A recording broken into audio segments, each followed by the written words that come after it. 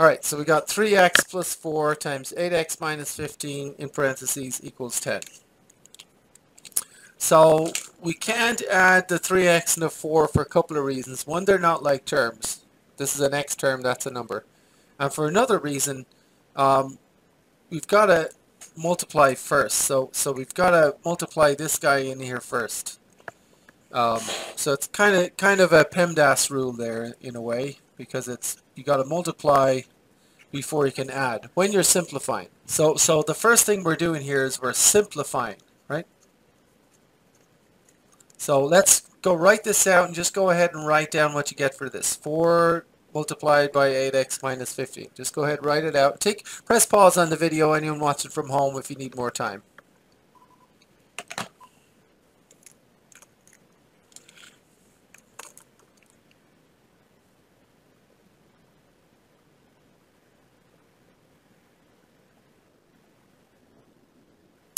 Uh, solve this equation. I'll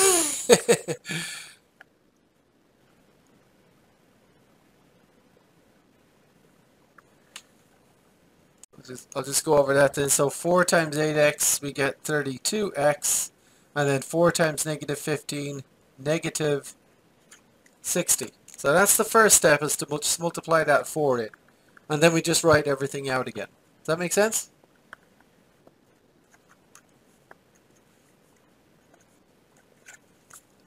All right. Any questions on that? So the next step is we still have to simplify the left because we can. So in other words, when you're solving equations, you keep simplifying until you can't simplify anymore. And we can we can continue to simplify here, simplify here because we have like terms, right? So go ahead and add those like terms together and, and write down what you get. So 3x plus 32x, did we get 35x? Any questions on that?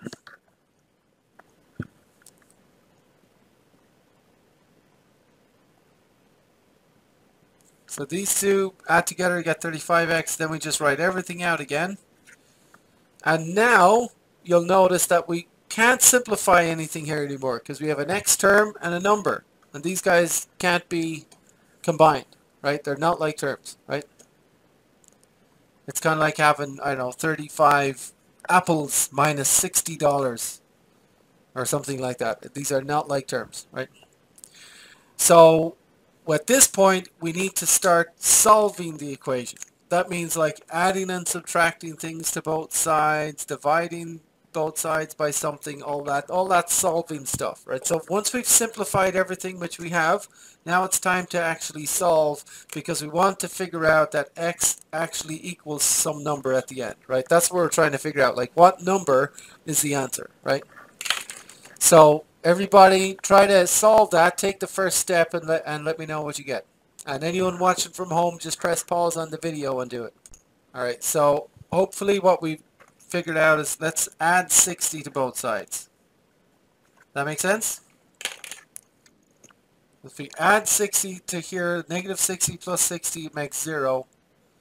And that gets rid of that negative 60. So now we just have the 35x on that side, which is getting us closer to the end. Is, is We're getting towards just having x on its own. We're trying to get x all by himself.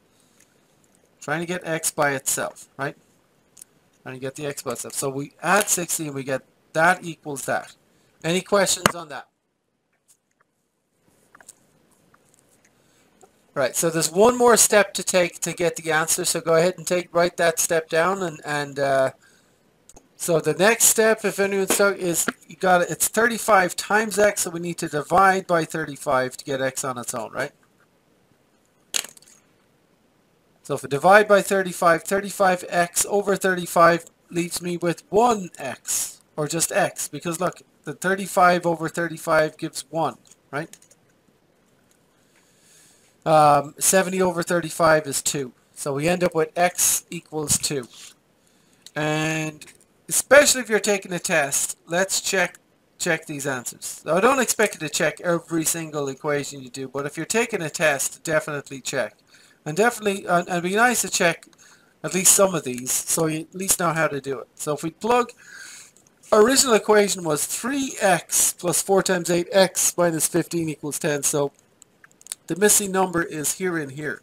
So if we plug that missing number in for x like that, that's how we check. And we just try to figure out is that equal to 10? Because it was supposed to be equal to 10, remember? So that was the original equation and we're checking here, right? So 3 times 2 is 6 plus 4 times and 8 times 2 is 16. Right, so I'm just multiplying things out and figuring out the answer. 16 minus 15 is 1. 4 times 1 is just 4. And what's 6 plus 4?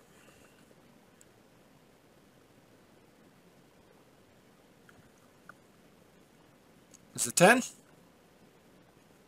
Right, so that checks out, doesn't it?